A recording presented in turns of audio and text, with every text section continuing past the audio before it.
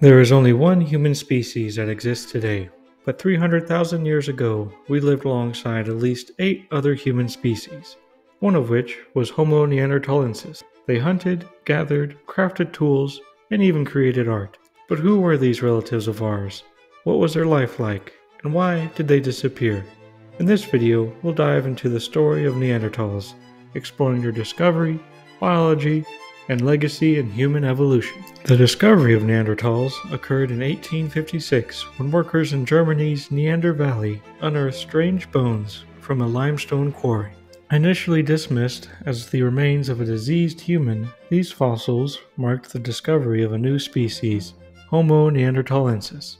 Over the years, similar remains were found across Europe and Asia, piecing together the puzzle of their existence. These discoveries changed our understanding of human evolution, proving we were not alone in our journey as a species. Neanderthals were physically distinct, with a robust build, broad chest, and shorter limbs, making them well adapted to cold Ice Age climates. Their skulls featured prominent brow ridges, wide noses, and a slightly elongated shape. While their brains were slightly larger than ours, their shape differed, hinting at unique cognitive abilities. They were built for incredible strength, excelling in their ever changing environment.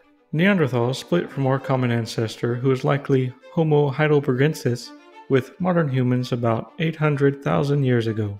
Over time, they evolved to survive in Europe and parts of Western Asia, thriving for hundreds of thousands of years. They coexisted with other hominin species, including the Denisovans and modern humans. Genetic evidence reveals that Neanderthals interbred with our ancestors leaving traces of their DNA, up to 4% in some cases, in modern populations outside of Africa. Neanderthal life was tough but also sophisticated.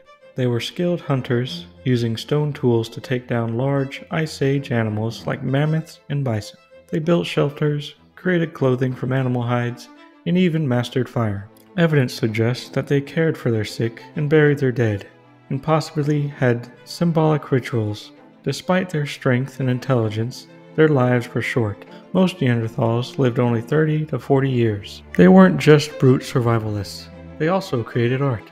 Cave paintings and symbolic objects found in Europe hint at a rich cultural life.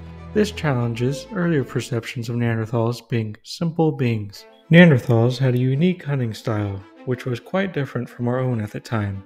With razor sharp spears, they would ambush their prey, mostly many times their size. Using brute force, they would thrust their spears into the animal's vitals, overpowering and eventually killing the beast. This hunting technique, though effective, left many individuals with debilitating injuries which could result in death.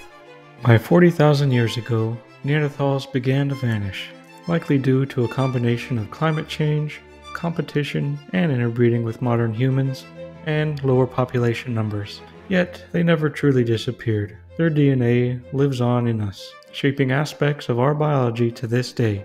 Neanderthals were more than a side note in human evolution, they were a testament to resilience, adaptation, and a shared legacy of our ancient past. Their story is our story. Thank you for joining me on this journey through the fascinating world of Neanderthals. If you enjoyed this video, don't forget to like, subscribe, and hit the notification bell for more content like this.